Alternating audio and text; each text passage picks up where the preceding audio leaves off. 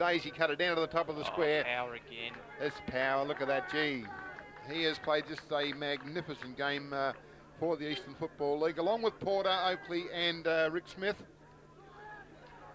And really looked me. to waste a bit of time. He's very experienced, but uh, He decides to go into the centre of the ground there, looking for Jason Wade. Wade's been in and out of it a bit today. been off, on and off the ground too, Bob. Yes, he has. Wade now decides to come across here towards our commentary position, looking for Franken. Franken tried to take a one hand and couldn't do it. in underneath there was good. Uh, played a pretty good game actually today uh, for Eastern, and the umpires said it's over the boundary line and out of bounds. He's been our best midfielder, but uh, I'd give our best to Rick Smith for four quarters, Oh, Bob. so would I. Okay, 27 minutes gone in the quarter. Franken in front takes the ball out of the out of the ruck. An awkward looking kick round the corner. Nevertheless, got there. Okay, Where's spinning back with his McFerrin. McFerrin uh, for Western went back there to Newman. now Newman kept options have been possession. cut off, Bob. Newman coming there to Barker. Barker now got nowhere to go. Got the ball across there to uh, uh, Scar Mandaglia at the Eastern have won it. 15 goals, 9, 99 to the Eastern Football League have beaten Western. 13 goals, 87. So a 12 point margin to the Eastern Football League. Well, they took 10 years of the of life off me, Bob, but uh, the East, thank God, now we've got the right to brag. Still undefeated since 94, and still, I think you'd have to say, the best Metropolitan League Without a doubt. in Victoria. Let's give you the goal kickers and uh, the better players. We had for Eastern Football League, Lachlan Oakley from the Mitcham Football Club with five, the highest goal kicker on the ground. Damien Franken from the Vermont Football Club with three. We had two to Todd Power from the Vermont Football Club, and singles to Ash. Oh, sorry, Daniel Adams, uh, Clint Donnelly, Paul Giannopoulos, uh, Liam Doughty, and also Wade Porter.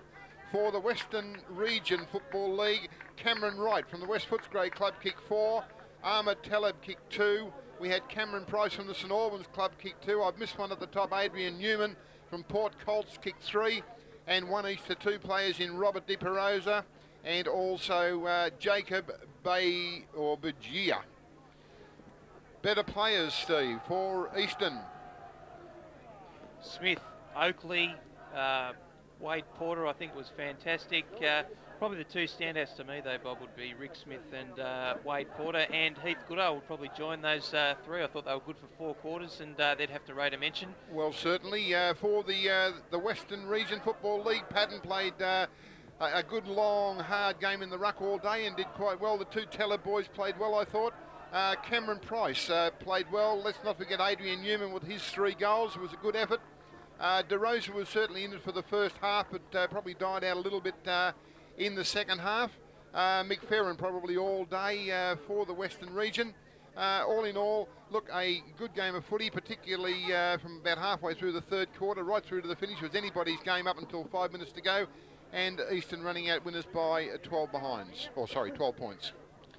Yeah, look, an amazing result. Uh, only played the one quarter of football, but a much better second half from the Eastern, and uh, well, I wanted them to. I didn't expect them to. I wanted them to show what they were made of, and uh, well, you'd uh, just a bit of bad luck there to the Western boys because they were probably the better side for most of the day, but uh, have to play four quarters unfortunately, and uh, were unable to to hold a rampant Eastern who've just come home with the proverbial wet sail and uh, a richly deserved uh, victory.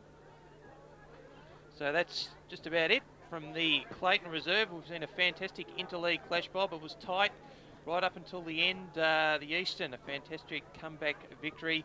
We hope you can join us the same time next week. We're now next for our next replay, which will feature, of course, solely Eastern Football League clubs. But until then, bye for now. last, uh, presentations underway for, uh, for the day. Um, just like to thank firstly everyone for coming out here today. We've seen some fantastic games right from uh, the under 18s to start up with and uh, obviously this game. Uh, to the umpires, thanks very much for, uh, for their efforts. As I said in the last presentations, without their efforts, we wouldn't have the game today. So well done, guys. To, uh, to the Western guys, uh, certainly much more you can say. Fantastic first three quarters. Uh, just wasn't meant to in the last quarter, but uh, never gave up. Uh, fantastic effort, but uh, well done for getting into the side and uh. Well done, guys. Anyway.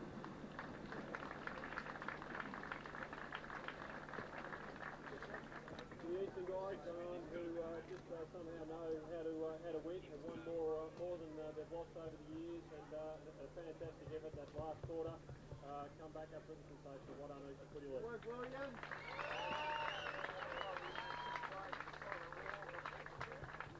To uh, now uh, call up uh, the best player uh, for Eastern Footy League for 18, Blake Porter.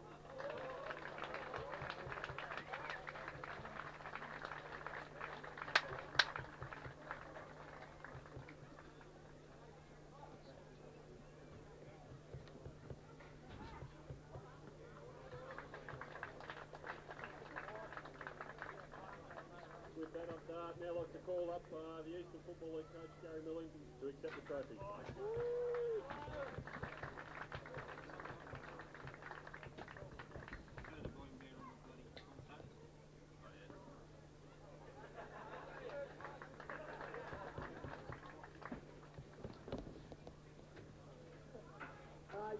thank you their first course and uh, early in the game played very well. Great, great work ethic from the uh, Eastern boys. They, they knew they had a chance. They, they stuck to it, stuck to the gun, stuck to the team plan, and went through it and come away with a win. It's sensational. Uh, big to the boys. Um, or six years ago, they, they Eastern League did the same thing the Western region at the time. Come to Glendale down, snatch a victory out there. Thought that's another opportunity to come out for us to do it. So good the boys in the midfield. They just uh, shooting last quarter and